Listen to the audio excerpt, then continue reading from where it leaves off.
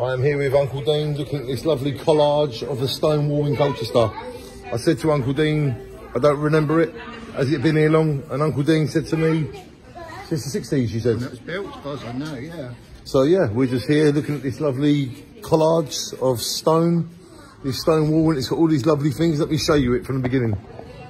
So you've got these lovely signs here, all resemble Colchester and the great historical Roman history that Colchester has.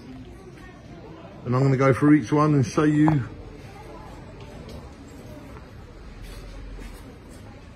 Look at that, that looks like Boadicea. That looks like the um, headquarters. And all the way up the wall. Each symbol has its own reference and meaning. Uncle Dean's just having a rest. And there's Boadicea, the Queen of Colchester. That's beautiful to see Boadicea there. Yeah, she's there. Oh, Boudica. Yeah, not Boadicea. Why do we say Boadicea then? Because they got it wrong. History books in the first place, I think. There you go. We always learn more from each other.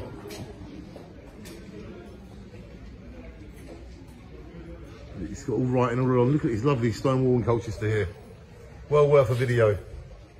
I love all places of his- history and interest. And look at that. That is all the way to there. From there, all the way to there. Colchester's great wall of stone history.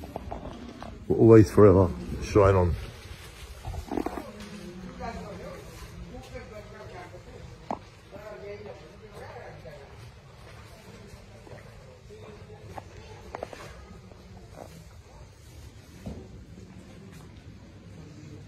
I like making